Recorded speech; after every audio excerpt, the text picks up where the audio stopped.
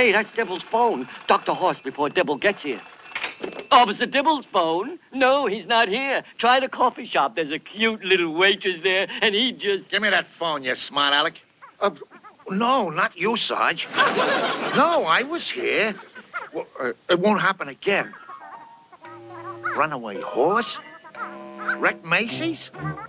Then the ten taxis. Panic in a subway? Right, Sarge.